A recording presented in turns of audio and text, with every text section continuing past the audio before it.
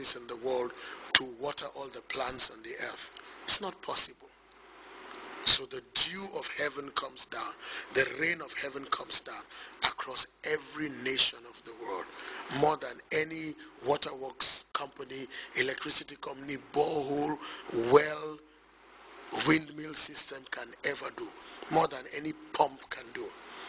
And so when we look at the water well, when we look at the pump, when we look at the windmill, when we look at the, the, the laid out standpipes and all that, we can see the limit of it.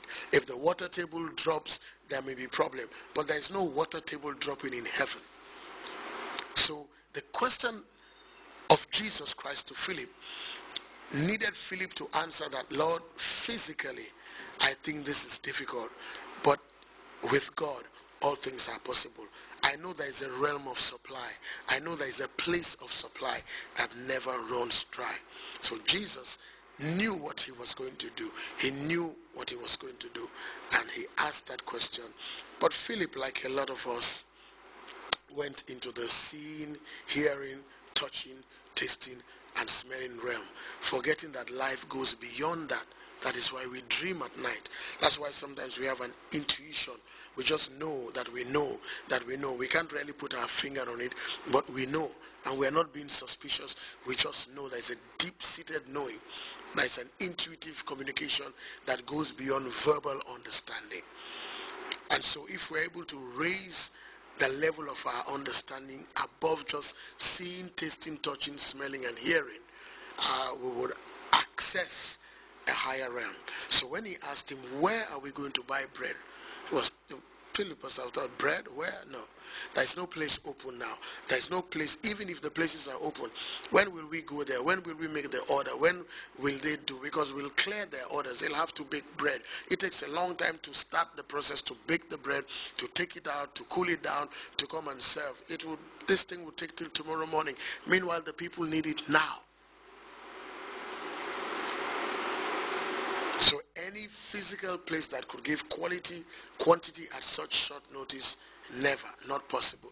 That is why Jesus turned water into wine. That's why that miracle took place, because physically it's limiting. So also your life, my friend. So also my life.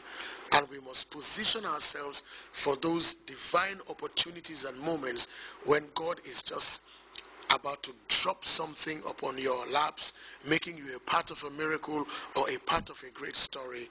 But if you say you can't, you can't. When we were building our, our church in Bakau, we had many times when it was possible to say it is impossible. When we saw the plan, some people thought we were crazy. Some people thought we were super ambitious. Some people thought there is no, where will we ever get this kind of money? This will never be built. This is impossible. But all that is history. In fact, if we have to do again, we will do a bigger one. Why? Because we knew that it was not just left to us by ourselves. No company, no nation, no organization just by itself can say it can do everything. Because ladies and gentlemen, there are things you cannot pay for. There is equity you cannot pay for. You cannot pay for smiles. You cannot pay for joy. When somebody is defending your integrity and your good name in a place that you do not know, you cannot pay for it. You cannot pay for the sunshine. We cannot pay for water. You know, you cannot pay for that baby that runs into your arms after a tired day's work and says, Mommy, Daddy. You cannot pay for sleep. You cannot pay for the dew. We can't. So if we're going to quantify all the things that make us who we are, it's just not possible. Nobody can pay for it. Nobody. There are times when money is not the answer.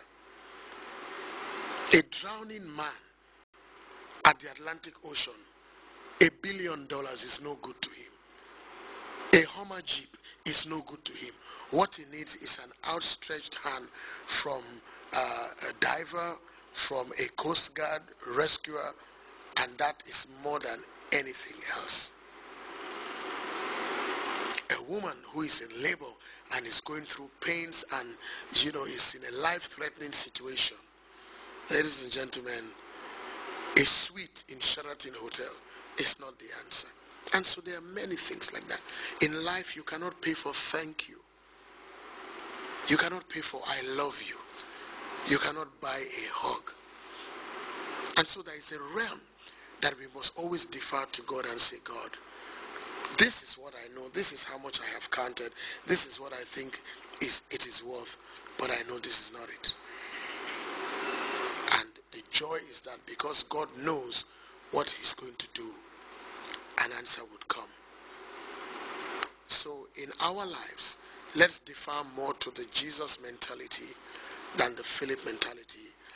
And um, that would help us. I'm going to stop here so we can stretch it again to the Andrew mentality, um, the accounting mentality. This is what we have, five loaves and two fish. He can't do it, so forget it. How many visions have died? How many visions have not even come alive because you looked at all you had and you thought, I can't do it.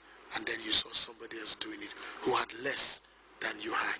It's not them. It's the supply that they connected to. Make sure you do that too. Until I come your way next week, this is Pastor Forbes saying, have a good evening. God bless you. Good night. Respond right this week. It may just change your life. God bless you.